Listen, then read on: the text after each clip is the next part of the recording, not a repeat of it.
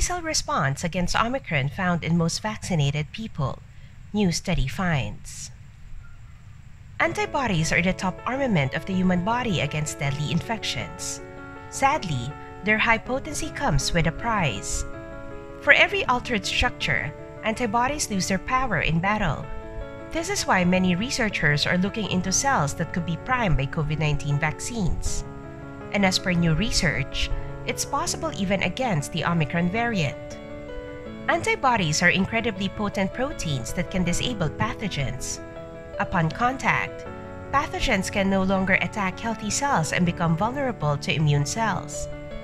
However, attaching to pathogens has a strict policy, an exact match.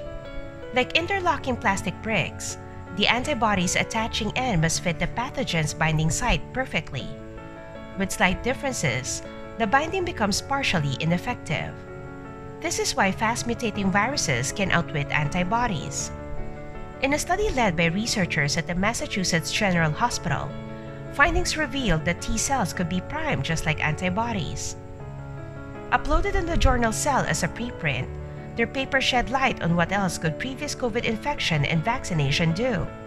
But be warned, the paper didn't say get yourself infected by the coronavirus. As much as you can, avoid potential risks and spare yourself the unwanted symptoms. So, how did the team determine the priming? According to Medical Express, they obtained blood samples from 76 vaccinated and unvaccinated adults with and without prior SARS CoV 2 infection. Any mode in acquiring immunity against COVID 19 has been detected in the study. T cell responses were obvious among those with COVID 19 history, vaccination, both history and vaccination, and booster vaccination. Their T cells could recognize the Omicron spike protein and other proteins of the coronavirus.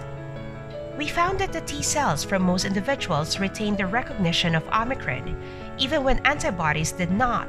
This is good news, said co lead author Anusha Nathan at the Ragon Institute of MGH, MIT, and Harvard. However, they also identified some weaknesses in the samples. Around 20% of people had a huge reduction in T cell responses, despite vaccination and history. There were also some genetic traits linked to poor responses, but boosters seemed to increase T cell responses by 20 times.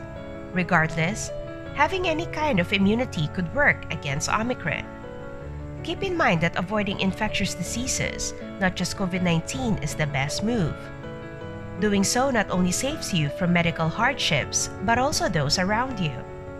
Also, natural immunity and vaccination can only do so much, as neither can give you perfect protection.